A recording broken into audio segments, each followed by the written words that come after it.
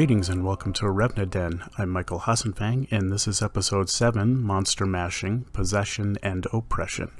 I feel that this is my uh, most interesting episode topic. That's my favorite because it's what the whole Erevna Den, even the logo with Ephesians 6.12 sort of revolves around, which is spiritual warfare. I got some interesting tales to tell on this one. Um, not so much uh, explaining into the Bible verses which go into the spiritual warfare because most of these are just going to be tales of uh, me explaining my past and how I actually became a Christian because of this spiritual warfare and the stuff that I deal with even up until today. Signs and things to look out for if you're also going into any sort of spiritual battles, fighting off any territorial principalities or you know if there's anything like a possession a friend in your life that's you know oppressed as well. I think we'll be covering a few segments here and I'm not even sure where to begin with this and I feel it's probably going to be my longest episode maybe maybe not but i kind of have this like feeling that i'm going to be going on for quite a while and it's why i started the side notes as well too like uh, a couple days ago with that prelude to episode 7 because of the dream the spiritual warfare dream that i had.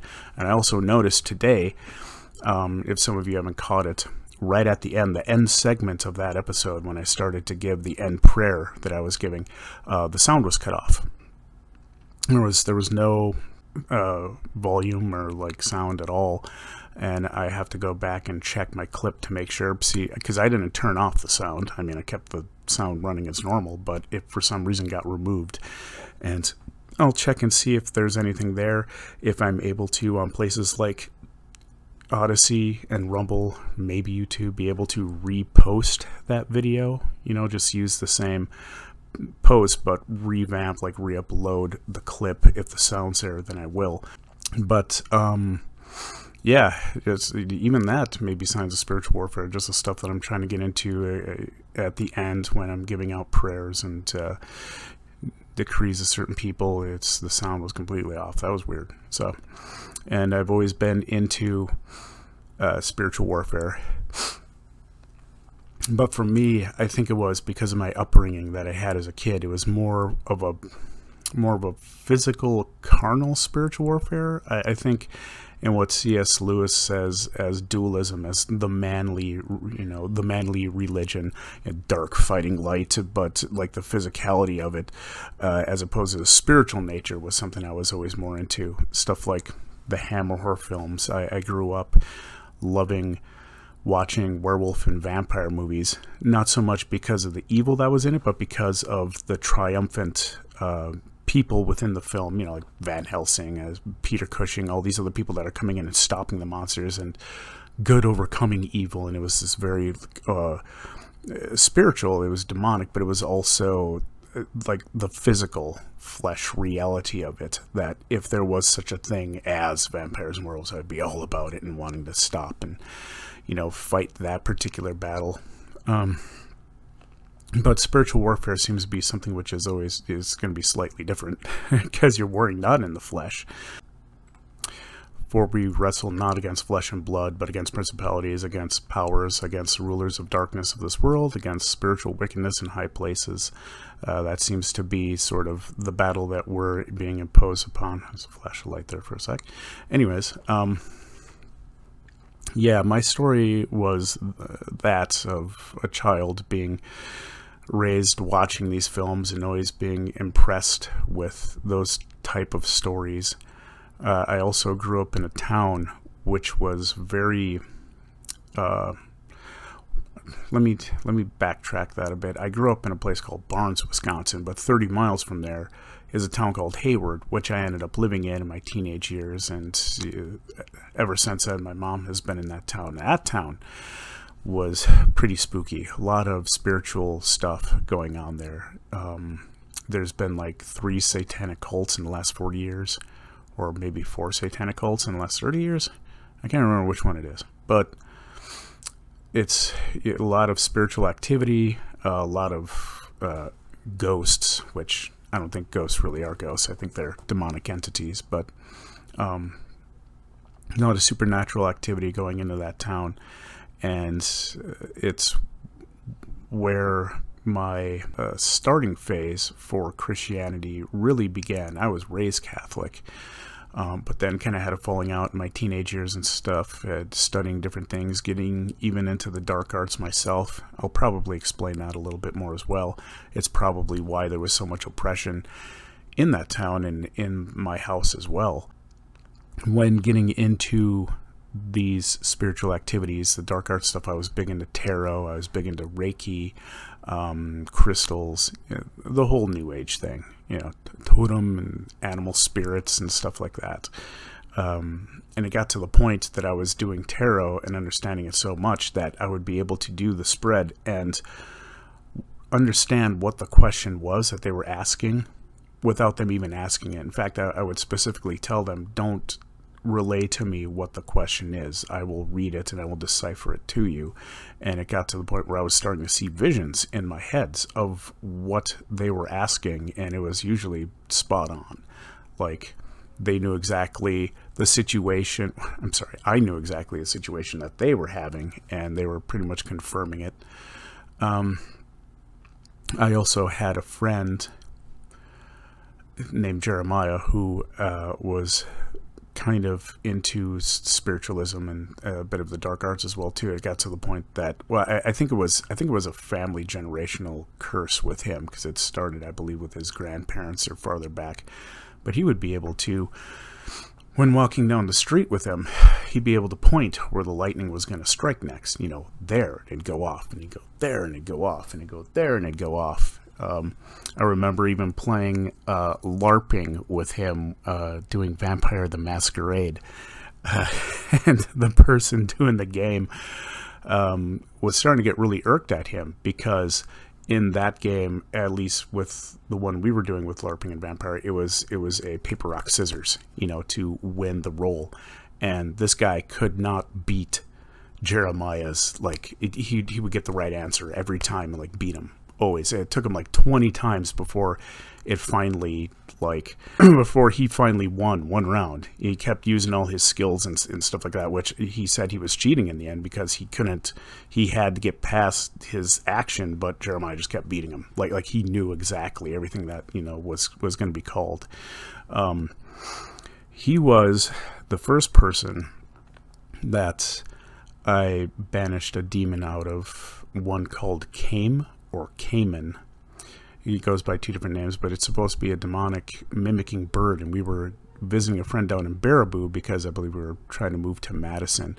And so we stayed at a friend's house and he was telling me all these stories and dreams about black ravens coming to him in his well in his nightmares i guess it wouldn't be dreams but they, they, would be coming to him and you know Cain would be there as like the mimicking bird and you know trying to claim possession over him and stuff um, and he believes that it was from uh, generational curses from his family, where his grandparents or great grandparents were uh, into that sort of activity. And so, while there, I tried to do a banishment from the oppression he was getting because at the time I don't think he was really possessed until I started praying for him. And then that's when the demon decided to come into him. It's the first time that I've actually seen it where the demon spoke out through Jeremiah. And um, I think back then I may have failed more in it because I had more of this Gnostic or even like a Catholic understanding of exorcisms. So I was doing like praying the Hail Mary uh, and speaking that angels would come and bind the demon up and take him before the Lord to do with him as he wills, which I, I suppose would be something I'd still say today uh, when casting out demons. But I just I had more of a mindset that I don't think was totally as Christian as it is today. And I feel that even though I may have spooked out the demon uh, for that particular time, the Bible even says if you don't, you know, if, if you clean the house and the house is still emptied, that demon is going to come back and bring seven more with him who are stronger than he is and reoccupy the house. And people always say, can Christians be possessed? And that was always a topic that I I, I, personally would say no because if you are a true Christian, you have the Holy Spirit living within you. The house is not it, house is not empty. It's it's not cleaned out and you know vacant for anyone to come in. The Holy Spirit resides within you. So I think the question is not can Christians be possessed, but can true Christians be possessed? Ones that actually accepted the Holy Spirit and allowed Jesus or the Holy Spirit to come and live within you. There's plenty of Christians out there, I feel, that may have not done that, or church going people that say they may believe in Jesus but never accepted him as Lord and Savior, never allowed him or the Holy Spirit to come and indwell within them. And so this is why we see a lot of controversy between will Christians be possessed or, you know, can they not be possessed because of the Holy Spirit? Well, I think the answer is both. I, I, think if you have the Holy Spirit indwelling within you and that you've allowed Him to reside within you and give your life up to Christ, then no, demons can't possess a Christian.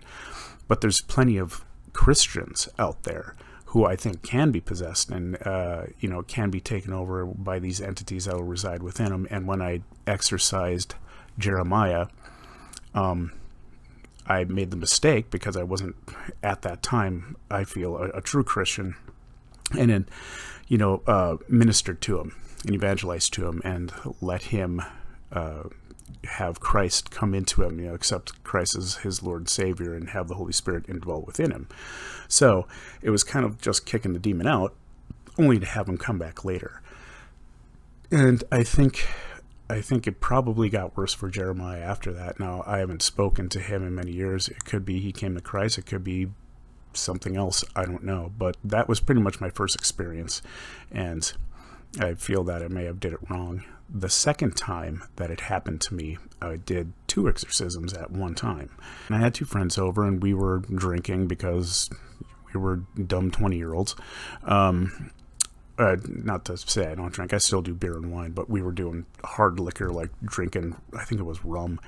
I don't really touch hard alcohol anymore. I'm not into that. I just do beer, coffee, wine.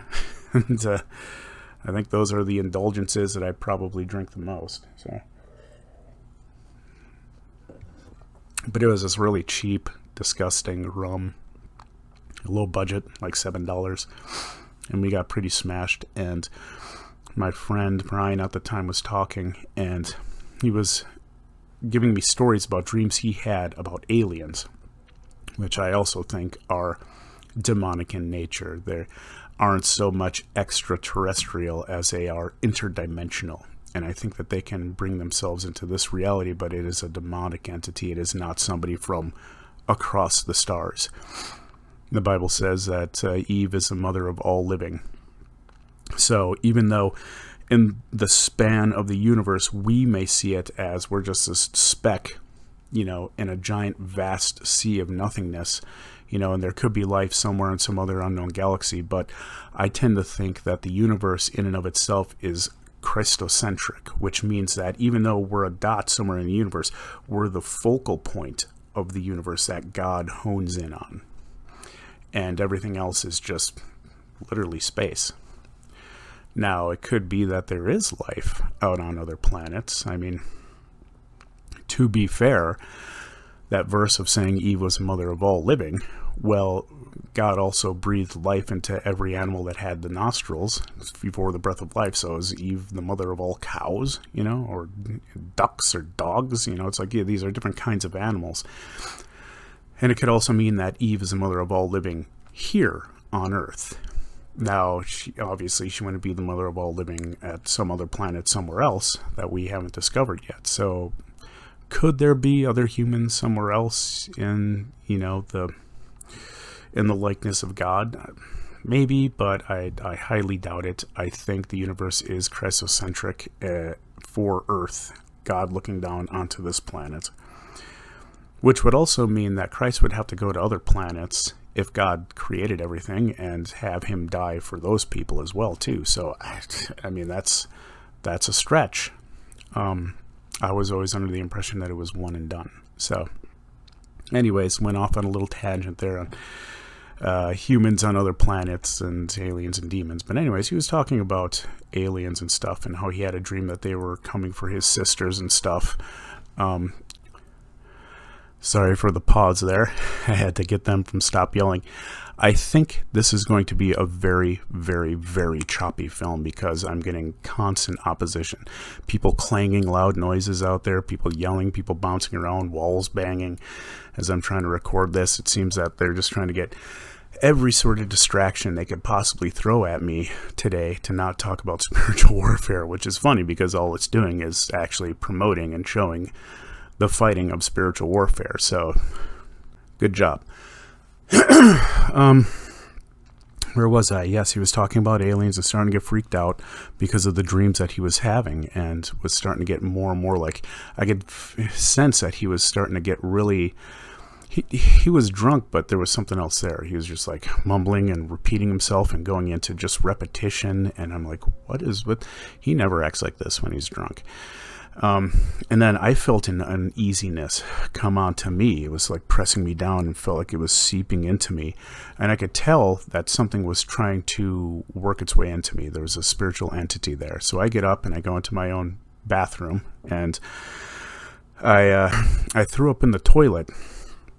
And what's interesting, and what the movies don't tell you, is that it's not like The Exorcist, okay? You're not like puking pea soup. Um, it wasn't bright green or anything like that. But when I threw up, it was pitch black, like oil, like sludgy oil vomit that was coming up out of me. Um, and I don't care how horrible rum is, it's not going to turn your vomit black. So I threw up, and that's when I knew something was trying to possess me. So I had a little bit more gumption then to cast it out in the name of Jesus and, you know, be, be covered by his blood and be covered by Christ and saying that you don't have control over me, Christ owns me. And it, it went, it like instantly went out of me. Still felt a little sick and stuff like that, but I could tell that it was gone. I walked back out into my bedroom and both Joe and Brian, Joe, who was passed out previously, is now wide awake, and he's got his hands were like this, but they were down by his sides, and he was just kind of just staring at Brian, who was on the bed now. And Joe growls at him, this guttural kind of canine growl.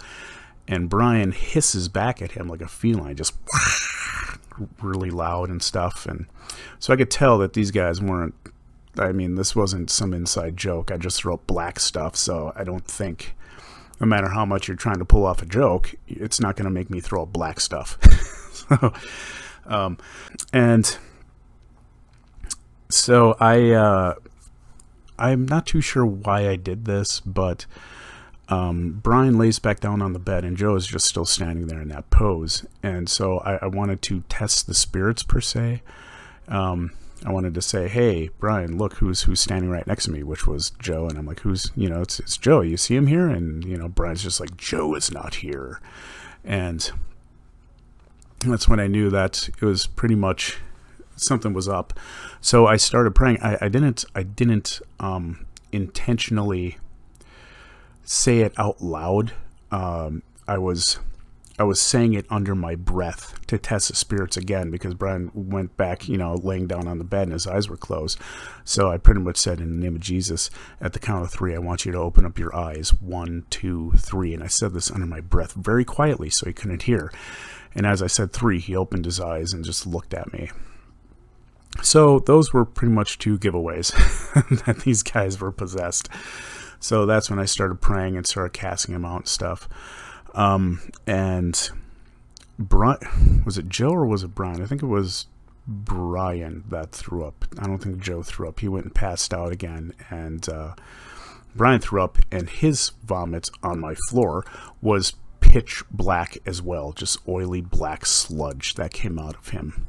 And trying to remember how that ended, but I think it just ended more or less with me praying and, getting the demons out of my house and stuff, or getting them out of the body at least of Joe and Brian. And it was more of a just a, kind of them waking up from their sleep. It wasn't a hard fighting of demons screaming and yelling and stuff like that. They just sort of hissed for a while and then just left. So, again, the same situation happened where I think they got pushed out, the demons, but again, They didn't give their lives to Christ. I still don't think either of them have, as far as I know. And they could have returned again. so, learning lessons on what it means to vacate the premises, and if it's not filled with someone else, they're going to come back in uh, sevenfold, and it's going to be even harder to get them out again. And I think this is kind of one of the things that a lot of people are having trouble with when it comes to Christians and them being saved and can they be possessed can they they they can have oppression. I believe anyone can have oppression. You can constantly have demons always badgering you on a nonstop basis but to be possessed and controlled by one as a true christian i don't think so because you do have the Holy Spirit within you. You do have Christ within you who's not going to let them in. And any battle that you have is going to be from an external fighting, not really an internal one, unless it's one where you're starting to feel convicted and you're starting to believe the lies that are being told to you from them, which is oppression. It's not really possession. It's it's just a constant badgering and fighting of them trying to penetrate into you. But um, if you don't give them a foothold, they won't be able to get in. And if you believe in Christ and have Him as your Lord and Savior, obviously, with the Holy Spirit in you, you know they're not coming in. So those are my two. Um, live action spiritual warfare issues that I've had. So, three exorcisms and two at one time. I've had a whole bunch of other stories. When we were big into the dark arts again, my brother was doing a Ouija board and contacted Zozo. For those of you who know Zozo is, yeah, yeah, we we found out who that was before we even watched all these movies and documentaries that have been coming out recently on Zozo and the Ouija board demon. And Zozo appeared to us as a white dog on our yard the next morning because he asked, you know, he's going to show himself, and Eric asked how he's going to show himself, and he's like, I will come as a as a dog, as a, a, white dog, and the next morning there it was sitting in our yard, looking directly into our window at at him. Um, a bunch of other manifestations, spiritual entities within our house, people seeing ghosts, uh, friends seeing a particular ghost two of them who didn't even know each other, and they specified seeing the same apparition. Uh, so there's no way that it could have been concocted between these two because these two didn't even know each other. So, and they they said the same thing. Um, another one of my friends said the same thing about the ghost being in there and specified it perfectly. Uh, I, have worked in businesses in Hayward that had ghosts in it, so a lot of a lot of demonic activity goes on in that town. And this is just one town in one state, you know, across the nation, if not the world. And it shows you just how intense one place can be when it's controlled by certain principalities and powers and dominions. They have, you know, claim to this particular um, province of their area. This is why when Daniel, when praying, he went on for like 21 days before Michael arrived, you know, and he's like, what, what took you so long? And he's like, well, I was, I was fighting with the Prince of Persia. This is a actual principality. His domain was within that area and he was fighting him so he can get the answers to Daniel. And it's just like, this is, this is one demon that one angel was fighting, and it's just no, he could have had more under him fighting Michael to you know then Michael got through. But what I'm saying is that that's just that's just one principality. That is just one area of domain, which uh, shows you the spiritual battle that goes on. And I was always wondering about that too, because my my question to God was always I always thought it was a one and done. You know, if God is almighty and God is all powerful and God is, you know, all he has to do is snap his fingers and it's over why are we in constant intercession and constant battling and constant fighting and repetition of just asking for this prayer over and over and over and over and over and fighting for it? Uh, I was always under the thought that it should be just one and done. You say it and it's done, you know, because God's all powerful. There, nothing can stand up against him. You know, it's, it's an intercession going up to him. If he approves it, boom, done and over with. But that's not how it works. It's sent out through his angelic forces to relay the message or answer the prayers or give the gifts or bestow all the stuff. And there's an opposition fighting that. And they're not trying to get the gifts through. They're not trying to get the answers through. They're not trying to give the provisions through or, you know, what, what God has ordained to pass on to the people, which uh, pretty much is the mailman, the angelic forces, coming through and dispensing the actions or delivering the messages. And they are in constant fight to get it through. This is why I think we need to be partakers in constantly claiming it and constantly fighting and con- constantly interceding and praying for certain people. I have a friend of mine who's had ailments and is sick uh, very badly and it just comes and goes but each time it comes it like gets progressively worse and it's just like you know i was always just sort of angered I, I guess i shouldn't say at god but in a sense sort of because i always thought it should be just one prayer healed done you know and I always thought that maybe my prayers weren't strong enough, or I was too weak, or I wasn't asking in the right way. And it's it's not even that. It is the spiritual opposition that is coming against your prayers because they do not want this to be achieved. You're going to get pushback. It's not like these people that have these domains and have these uh, you know the principalities and powers that are subjected to a certain territory aren't just going to give it oh, he said a prayer. Okay, I guess we'll just go, hey, Beelzebub, let's go kick the can somewhere. No, they're going to fight and be like, no, we're, we're keeping this. You're not getting through. So you're going to have opposition. You're going to have fighting.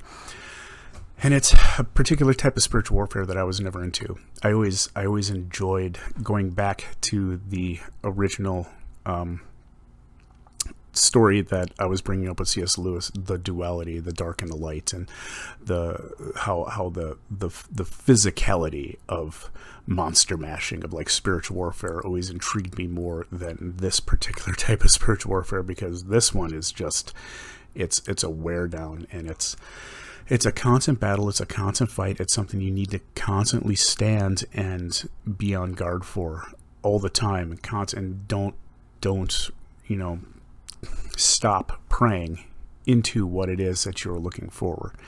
And it's just one of the things about spiritual warfare. You just keep praying until you see it. You keep asking until you see it. And the mistakes that I have made in the past uh, shows me that that one I'm I need to constantly be in spiritual warfare, fighting for what it is I'm looking for, but also once it has been achieved, to give God thanks. And if it's a person who is say oppressed or even in possession, to lead them into Christ, have them give up their life for Him, you know, have Christ be their Lord and Savior and have the Holy Spirit be indwelled and put into them so that they don't have seven more occupants coming in. And now it's even stronger and more harder to get them out because of the original possession and um, trouble that they did have with these spirits. So now that I told my story, Again, it's going to be a long episode. It's probably going to go for a full hour. We've reached about the halfway mark, I'm guessing. I gave you that very long introduction. We're going to do communion in remembrance of what the Lord did for us. Again, when you do it in church, as a community, as the bride of Christ, it's I mean, it's it's always good to do it but there are times where I, I, feel I almost have to take this daily because just the spiritual warfare that we are constantly going through. Or many of us who are trying to do these videos are seeing what's happening is actually going through. It's been quite a ride, to be honest, and a lot of more internal fighting than external. And I'm not saying that from a possession point, but more of an oppression or more of how I see myself, which is different than how Christ sees us and it's been a long, hard battle. And I'm just this uh, and praying more and decreeing more and intercessing more and using the oils more, just anything I can does help. But we're entering that stage of spiritual warfare where I think we're going to need to put on that full armor soon. Uh, we need to start start getting into it. So let's start with this.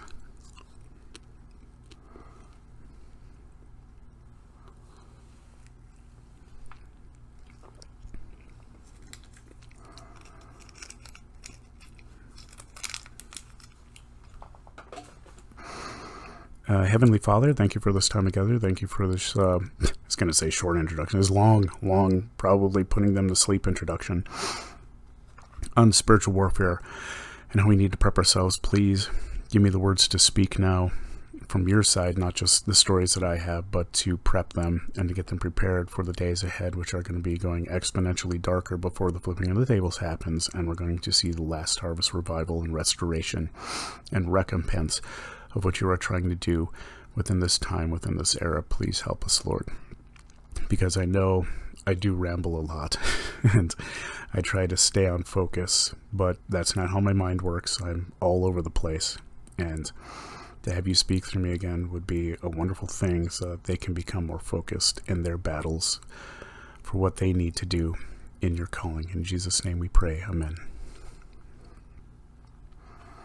So, with that introduction, where do I even begin? Um, I guess for me, I could delve a little bit more into the spiritual warfare of how I wished it was as opposed to what it is. And again, this is why I like stuff like Hammer horror films because there is a physicality to that particular type of demonic warfare where you're actually slaying something physical that you can see, that you can perceive, that is there in front of you, and that you can end through whatever proper means it is, be it a silver bullet with a werewolf or a stake through the heart with a vampire. And I, have I've always I've always liked that. I've always found myself to be one of those people in a Hammer horror film who, you know, wears the old stagecoat jackets, you know, and the vests, you know, and uh, the old Edwardian clothing, and carrying the lantern around in a dungeon and stuff, and trying to find the evil and smite it out, you know.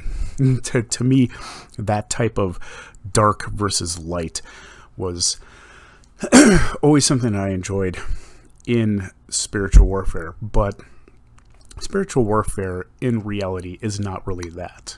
Now, there have been people that claim there are such things as vampires and werewolves, and I'm kind of one of those people who do believe it. Um, I, I come from Wisconsin, which has the most werewolf sightings out of any state in the entire nation. I mean, many people see them all over the place, and there is a lot of Luciferian occultic activity that goes there. And I believe that there is such things, but it's such a rarity um, to come across something like that. And even if you do come across that particular type of rarity, the idea supposedly is not to kill it, but to bring these people to Christ, because they were people who gave their life to Satan. These people, I mean, if they're creatures like that, they've devoted, solely devoted to satanic, you know, to, to, to Luciferian way of life. So the rarity of you seeing one is, you know, increased by the rarity of actually turning one to Christ again. It seems like an almost improbability to find one, let alone bring one to Christ. But I believe that there is such entities out there. You know, we, speak of uh, Genesis chapter 6 with the, the Nephilim and the giants and from all these demonic activities of uh, the fallen angels sleeping with human beings, and from there they, they get the gigantes, which does mean giant, but it specifically means earthborn. And they from there it's not just giants but this is where the idea of things like satyrs and stuff come from or like the you know weird creature hybrids uh, from the mythological times in fact they believe that the titans which were the gods of that time were actually the nephilim because titan means shaitan in arabic and then shaitan means satan so titan actually is satan so when the Titanic sunk, the satanic sunk. I don't think a lot of people understand that. So it's kind of a little freaky when you think about it. So, um, which is why I'll probably never go on the new Titanic if it's built again. Not just for the thought that it's sinking, but I'm literally writing the satanic, which probably, you know, it's not a good idea to do. Um, where was I? I'm going off on a rant again. But yeah, uh, people like this, people like Peter Cushing over there, are like movies and shows that I love and adore. And it's weird because I got Cushing up there, but my favorite person is uh, Rupert Davies uh, playing the Monsignor Ernst Mueller from Dracula Has Risen from the Grave. This guy to me is like the epiphany of what just uh, awesome monster masher is. He was a Monsignor that comes to this small village, and the people stop going to church He's like, why have you stopped going to church? You know, oh, the, the shadow of the Castle Dracula lands on the church and this whole place is cursed. And this dude's like, yeah, not today. It's not going to happen. I'm going to put this BS to bed. So he goes with the priest of that village straps on a big golden cross to his back and decides, uh, sorry, proceeds to climb up this mountain, Brian Blessed style, to the castle where he slaps that golden cross on the door, exorcises the castle, and then tells him to go back to work. You know, go preach to your village now, get your job done. goes home to his own village, you know, gets a snifter of wine and a cigar and puts his feet up. You know, now, to me, that's like, this is my kind of spiritual warfare guy. You know, he could get stuff done and then go home and, you know, still be the, the Monsignor and have a little snifter and a smoke. Uh, and not only that, but he brings the, the, uh, hero of the story, well, the ending of the story was some fiance of his niece who was an atheist to Christ as well too, and he doesn't even die from Dracula. Like, I think if this guy was the main hero, he'd probably whip Dracula's butt in three seconds. But he dies because the priest from that village turns to Dracula and ends up killing him. So it was his own people that killed him and stuff like that. And that almost feels kind of like what spiritual warfare is a lot of the time is that you're trying to fight off all this, all this demonic oppression and you actually pull it off. And the people that are, you know, that actually belittle and, and you know, stab you in the back are the ones that are your friends or part of this faith. And I know I'm saying that in a generalization. I know not everyone in the church is like that, but it seems that the biggest opposition for us who are in spiritual warfare, are intercessors, are the ones that are of faith and they just, they for some reason either don't want to do spiritual warfare or don't believe it or think that's not for us or this is long ago. You shouldn't be doing this. You shouldn't be speaking in tongues. You shouldn't be praying. You shouldn't be intercessing. You shouldn't be declaring. You shouldn't be decreeing. You shouldn't be doing any of this stuff. And it's just, I think we're entering into a new time where this is going to become just bolder and bolder and bolder and just in your face and you're going to see it exactly for what it is and people are going to start standing up again. And the people who are shaken to their core because of the darkness that's going to be coming and just jolted awake out of the slumber of this religious spirit that the church has been in for centuries if not millennia will finally snap into it and will start doing what is being you know said we we, sh we should have been done you know we should have been doing this whole time but um, now it is a call to arms and I'm not I'm not a type of person who thinks I'm better than anyone else because of certain revelations that were given to me. I'm just trying to blow the trumpet. I'm trying to get people to stand up and get into that call of arms. I'm not saying that people have to speak in tongues. I'm trying to give them weapons of warfare to use. If you don't want to take the hand grenade that I'm giving you into battle, then at least take something with you. But may I recommend that it's not just a pointed wooden stick and sheer gumption of just wanting to walk into it? You need to be dressed up in the armor of God. You need to use the weapons that are being given to you freely. You know, it's like you, you, can look at this and say, oh, I don't like it. Well, there's a lot of things that I don't like when it comes to war, but I'm going to have to take it if we're going to proceed to fight this battle. And I think a lot of people just, they negate or they just, they throw aside all these things, all these gifts that the Holy Spirit is giving to us because they just don't believe it anymore or that was in times past or I'm going to look silly if I do it it's like, well, the foolishness of God is greater than the wisdom of man, so look silly doing it, because something tells me you'll probably win the battle a lot faster if you did. No, the fighting that we have is not based on dark versus light in the material world. There is the people of the world, the global elites and stuff like that, that are trying to take over and they're Luciferian and they worship him but our job is to try and pray for them and try to save them as well and bring them into the kingdom because technically speaking, they're not the enemy. It's the people, people, it's the spiritual entities above these people. And they have been duped and either hijacked or bribed or blackmailed or free willed their way into this lifestyle. And their hearts are starting to be hardened and they're just not turning from it. We should always try and bring these people in. But they're not the enemy in the sense of the flesh where we need to go and shoot a silver bullet into them or drive a stake through their heart. You know, we, we need to try as hard as we can to bring them into Christ. And if that doesn't work, then God's going to have the final say on this. And he's going to be the one that claims the vengeance upon these people. Um, C.S. Lewis, I believe, uh, did a thing called the tertium quid in, in Latin. It's it's known as the third option. It's the idea that you can't call a line crooked unless you have some idea of what a straight line is. And if God started the world as a whole and everything within that creation was all good, then darkness was not a separate entity that somehow was created and crept in to this all created, all good world.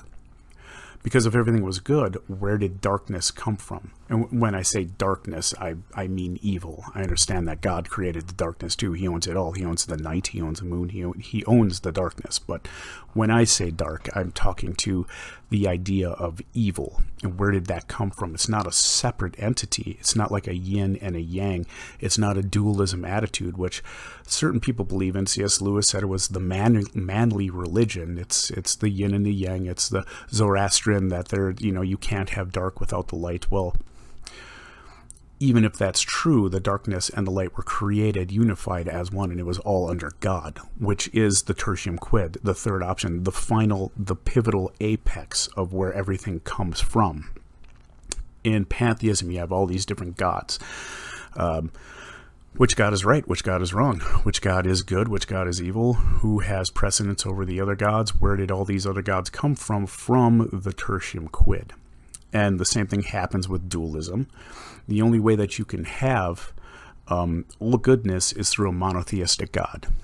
Now, the Judo, the, sorry, the Judeo-Christian belief, even Muslim faith and stuff like that, believes that there was an all supreme being who created everything. Everything was all good, and evil crept in by our own choices. Free will is what evil is. If you look at sin, sin means it's an old archery term to miss the mark. You there's a bullseye over here and you shoot the bow and arrow and you need to hit the target, but if you fall short of that target or you miss the bullseye, it's called sinning. You've sinned, you've missed the mark. And to hit a bullseye means to hit spot on to what God has called you to be, what God's will is, what God's law is, what his ultimate decision of a particular topic is. And if you move away from that, or if you miss the target, you have sinned. Now, the way you sin is to not follow God's goodness. If everything was created and if everything was good, then everything needs to be based off God's goodness. But if you have your own goodness that you want to attain to, and it's not in alignment with God's goodness, that is what is considered evil. And C.S. Lewis explained it nothing more as evil is nothing but corrupted goodness. Because if you think about it, no one is ever evil just for the sake of being evil. You could be good for the sake of being good, but you can't be evil for the sake of being evil. There's always something to it that's tying you to this necessity, this need, this this uh, action that you're taking, whether it's killing somebody or whether it's stealing from somebody or whether it's, you know, just think of anything evil. What is tied to that is your own self-fulfillment, your own self, whether it's revenge or your just your, your own need or your own lust or your own just desires that you want to attain to, regardless of what anyone else thinks or gets hurt by, including God. And when you do that, you're taking your what you consider your goodness, your self-righteousness, your action to attain what you want for your desire, because your desire technically as how you perceive it would be good. But it's a corrupted goodness. And you look at all demonic activity, you look at all what everyone here does, and it's always for something you know, Satan, again, was never evil just for the sake of being evil. Iniquity was found in him. He wanted to ascend, you know, above the stars. He wanted to sit on the throne. He wanted to be worshipped. He wanted to be God. That was what he thought was good. This is going to be good for me. I'm going to, no, it's evil. You may think it's good for you, but it's not because it goes against the will of God. So our battle needs to be fought with this understanding of what evil is and what they are trying to attain to. You look at all the global elites and what they are trying to do, and they laugh at our demise. They laugh at the pain and suffering and the killing that they're doing. Why? Well, it's evil, but they see it as good. This is for me. This is what I want. This is what I'm going to attain to. And I don't care how I get it, who I stomp over, who I have to kill or enslave to do it. You know, who I have to defy, which is God. So, when it comes to the tertium quid, everything is good. And if there is a dualistic nature of what someone thinks is dark and what someone thinks is life, it is on a substandard level. it's not God versus Satan, but God's up here, and it's more, say, Saint Michael versus Satan. It's the angelic versus the demonic. And then you go even to a sub, more substandard level, and here we are, a little bit lower than the angels with humans, and we got a whole array of gray. What's good? What's bad? Where's where's the white lies? Where's you know the the doing bad things to have good outcomes? There's just a whole jigsaw puzzle of different things, and we need to focus on what God wants us to do and what He's calling us to do. And when we learn to focus in on what God is calling us to do and what He has ordained for us and the powers He has given to us and what we are supposed to do, that is being in alignment and in agreement with His goodness, His will, and His plan. And you stop the demonic activity by proclaiming this, by declaring and decreeing that they have no power over you, that they have no hold over anything that you do, that you believe in what God is ordaining for your life, regardless of what that may be. And this is how we fight our spiritual battles, uh, how we fight the spiritual warfare, how we know who we are in God, as, as I was saying in the previous episode of us being kings and priests, how we need to decree and declare stuff, how we need to um, hold in agreement to what God is saying or proclaiming into our lives. We don't decree and declare because of what we want, we do it because we are in agreement with what He wants. And this is where our action of being partakers in this battle falls into place. We just don't stand around and wait for God to act. We just don't, oh, I'll just say a prayer and hope this happens. No, He wants us to be soldiers. He wants us to fight in the spiritual battle. And we need to do it uh, in the right manner with the right tools and with the right, I guess, mindset. Because when I originally did it, I feel that I did it wrong. And I, I may have won, you know, the particular battle, but I, I didn't win the war against him. I didn't save the person's soul. I, I had a different mindset. And we need to be aware that when we go into the spiritual battle, when we need to intercess, because there's different types, it's not just demonic possession you, you can intercede like Kat Kerr does with the weather system and all this bad stuff that's coming, you know, like uh, actions against Hawaii and volcanic eruptions and earthquakes and stuff like that. They intercede against the principalities and powers and domains within that realm who are causing these things. Because it's not just human, it's also demonic as well, too. They try and intercess and pray spiritual warfare against these battles and try and stop them. There's different callings that each person has when it comes to spiritual warfare. My question is, which one uh, do you feel your calling is in? And um, I'd say just start taking action into it. Um, there's much we can do, but we need to stay focused. We need to be in prayer constantly, especially for the days ahead of what is coming. We need to be prepped and ready for what is going down. And I know even for myself, my whole aspect of what I just explained of what I, was hoping spiritual warfare would be, but it's really not. It's not like I'm going to go off on a you know a vampire slaying expedition. Um, but uh, our our our battle is spiritual in nature. And I think that's where we need to look and where we need to fight and let God expose the ones here in this realm. Because once we push back the enemy in the spiritual, they won't have their shields anymore down here to use. Like all all the power that they were getting from them is going to be gone and they will be left pretty much holding the bag, kind of sitting there staring blankly into the cameras as we start asking questions of what's going down. They won't have a defense. They won't have that enemy there to give them the information that they need. And then from there, we can let God and hopefully the military with their tribunals kick in and get this done and over with. So I hope that's helped a little bit. I know I'm going probably way overboard to what I originally had intended. It's a long one, and I know that there is much, much more that I wanted to say, and hopefully maybe I'll be able to fill up a little bit more in the next episode with the two presidents because it kind of ties in. We've gone into the spiritual warfare of who we are fighting in the spirit, obviously, principalities and powers.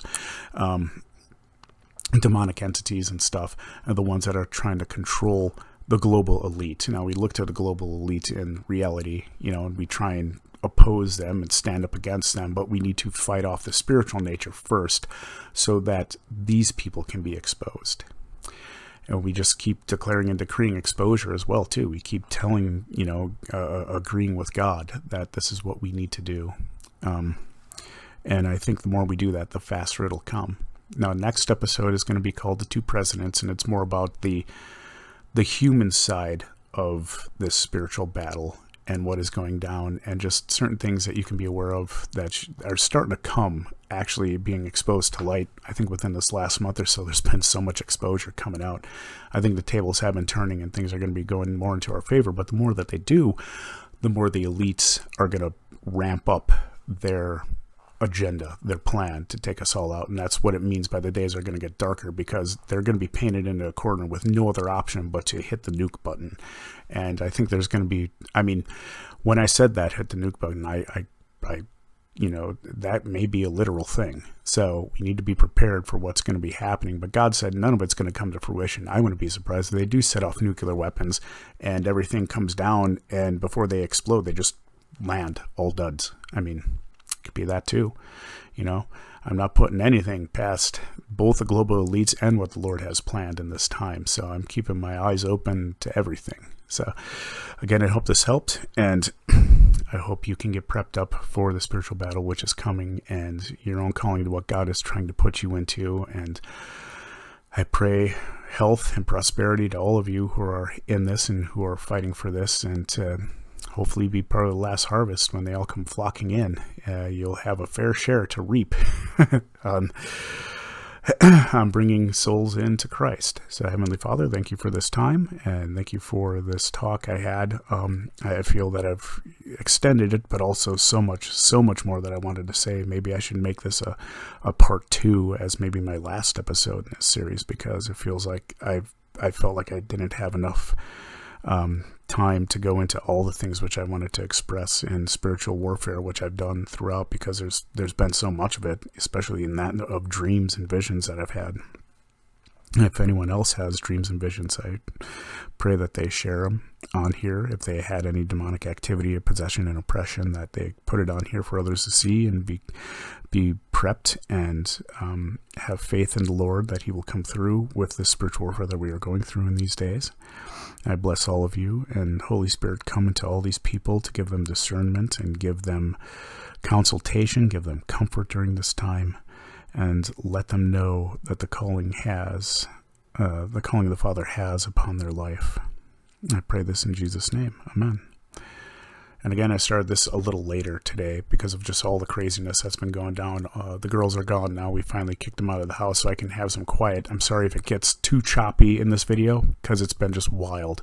Um, a lot of, a lot of kind of interruptions that I've been having today. So I'm sorry if it is a little choppy and the segments are a little off. But, um, oh, two more things. Uh, I would recommend uh, going a little bit different on the prophetic people to listen to, and I'm going to mention again, as previously, Mark Driscoll with his series called New Days, Old Demons, and this goes into the topic of uh, demonic warfare and what we're entering into these days, and explains quite fully, even from just a visible, uh, visible, um, can't talk today, man, visible, uh, like reality of everything that's happening with Antifa and the government. And it's just, you see the demonic entities behind these particular uh, sects and government administrations and just all that's happening with the LGBT extended name and stuff, uh, BLM. It's it's pretty crazy. Uh, I would definitely recommend checking it out. It may be a good eye opener for you. And the last book that I would recommend is kind of two books uh, this has caused so much controversy. Rebecca Brown, MD, they uh, he came to set the captives free, which is the main book I would recommend. But I would also recommend Prepare for War. I don't even know where to begin with those books. I've I've read them and I agree with them, but there's a lot of Christians who don't agree with them. There's been a lot of uh, flack and like um, discrediting upon Rebecca Brown saying all the stuff that she did. There's there's been no proof about her saving a uh, say Satanist like queen in a sense, a high priestess, and brought her to Christ. There's it shows you how demonic activity works with stuff like levitation and and magic and and things like that. Um, how there is such things as you know, vampires and werewolves and um, just a, a, whole slew of different spiritual warfare and i've went through and i've watched some videos even today about the discrediting of her and a good portion of people that are commenting on that were saying they were saved by rebecca brown. They've done spiritual warfare because of rebecca brown. They've they've brought uh, themselves into a new light because of these books. And then there's also a giant discrediting from the church um, that's saying she's a fraud, she's she's a fake, she took drugs to write this book. And I'm not sure what to believe because um, Rebecca Brown passed away and she can't really stand up for herself anymore, you know, take credit or say, yeah, this, this is a hoax or no, this is a real deal. And it's really hard to tell because there are many within the church that aren't of the church and they're trying to discredit certain people, especially when it comes to spiritual warfare. So, what I would do is I would question every spirit. I would use a discerning heart if you're going to read these books, read them, and then decide for yourself like is this a legit book is this good spiritual warfare is, is this good sound doctrine on how to fight the demons you know or is it is it all just a hoax? Um, definitely get into the spirit with that one and ask God. I, it's, it's almost something I would encourage you to read, even if it was fake, even if it is turning out to be a fraud. I would read those books just so that you can get the discernment within you, so that you can understand where the enemy is trying to come in and either twist the truth, or if she is right, where the enemy is coming in to try and discredit the truth and use that spiritual warfare against them. So, it's it's a good. I'd say it's a very good controversial book. Um, because to this day it's so split. It's so split on her book. People there's half the church is saying yay and half the church is saying nay. And it's just like wow which which is right? And you need to follow your discernment. Um, and again just like any book like any person uh, pick out the pieces that you know can be used in the spirit for fighting. And there's people like ron wyatt uh, who discovered a whole bunch of places like the real Mount Sinai and the Red Sea Crossing and Noah's Ark.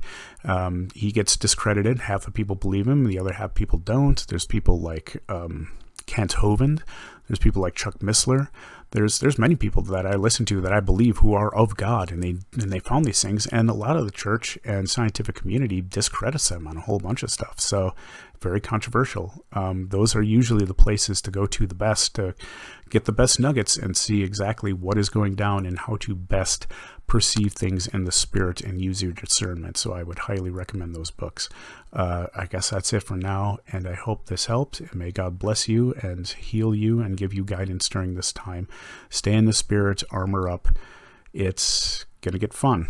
So until then, take care and God bless.